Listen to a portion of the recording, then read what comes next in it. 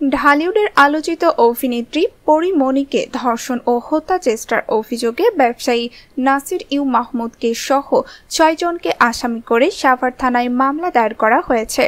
সোমবার সকালে মামলাটি দায়ের করা হয়। মামলায় পরিমণি বলেন, গত আটই জুন রাত আনুমানিক সাড়ে এগারোটায় আমার বর্তমান ঠিকানার বাসা থেকে আমার কস্টিউম ডিজাইনার জিমি, অমি ও বনি সহ দুটি গাড়ি যোগে উত্তরার উদ্দেশ্যে রওনা হই। পথে অমি বলে বেরি বাধস্থ ঢাকা বোট ক্লাব লিমিটেড তার দুই মিনিটের কাজ আছে। অমির কথা মতো আমরা ঢাকা বোট ক্লাবের সামনে নয় জুন রাত বারোটা বিশ মিনিটে গাড়ি দাঁড় করাই। কিন্তু বোট ক্লাব বন্ধ হয়ে যাওয়ায় অমি কোনো এক ব্যক্তির সঙ্গে মোবাইল ফোনে কথা বলে। তখন ঢাকা বোট ক্লাবের সিকিউরিটি গার্ডরা গেট খুলে দেয়। তখন আমি ভেতরে যাই। এ সময় অমি আমাকে অনুরোধ করে, এখানের পরিবেশ অনেক সুন্দর, তোমরা চাইলে নামতে পারো। এ সময় আমার ছোট বোন বনি প্রাকৃতিক ডাকে সাড়া দেওয়ার জন্য ঢাকা বোট ক্লাবে প্রবেশ করে। আমিও তাদের সঙ্গে প্রবেশ করে বারের কাছে টয়লেট ব্যবহার করি। টয়লেট হতে বের হতেই এক নং বিবাদী নাসির উদ্দিন মাহমুদ আমাদেরকে ডেকে বারের ভেতরে বসার অনুরোধ করেন এবং কফি খাওয়ার প্রস্তাব দেন।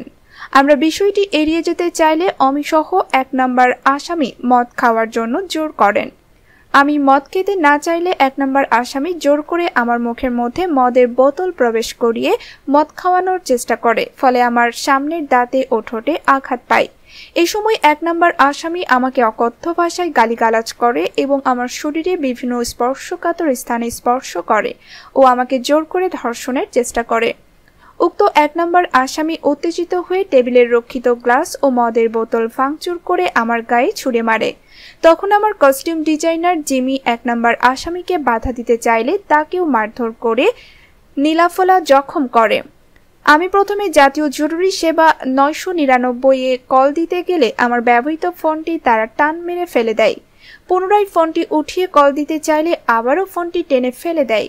উল্লেখ্য যে, দুই নম্বর আসামি সহ অজ্ঞাতনামা চারজন আসামি, এক নম্বর আসামিকে এই সময় ঘটনা ঘটাতে সহায়তা করে। আমি অজ্ঞাতনামা আসামিদের দেখলে শনাক্ত করতে পারব।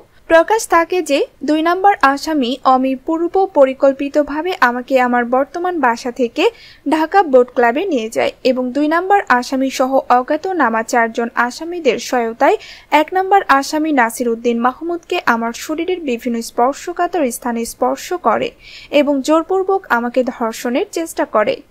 আমার সঙ্গীদের সহায়তায় ধর্ষকের হাত থেকে রক্ষা পায়। রাত আনুমানিক তিনটায় আমি আমার গাড়ি চোখে প্রায় অচেতন অবস্থায় সেখান থেকে আমার সঙ্গীদের নিয়ে ফিরে আসি। উল্লেখ্য যে আসামিরা বিভিন্ন মাধ্যমে আমাকে বিভিন্ন প্রকার ভয়ভীতি ও হুমকি প্রদর্শন করে যাচ্ছে। এ বিষয়ে আমি আমার পরিবার, শিল্পী সমিতি ও অন্যদের সঙ্গে আলোচনা করে এজাহার দায়ের করতে দেরি হয়েছে।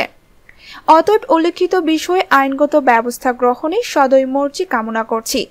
এদিকে পরিমনির সাভার থানার মামলার দায়ের প্রসঙ্গে জানতে চাইলে পুলিশ সদর দপ্তরের এ এআইজি মোহাম্মদ সোহেল রানা খুদে বার্তায় সংবাদ মাধ্যমকে জানান, তার বিষয়টি যথাযথ গুরুত্বের সঙ্গে নেওয়া হয়েছে।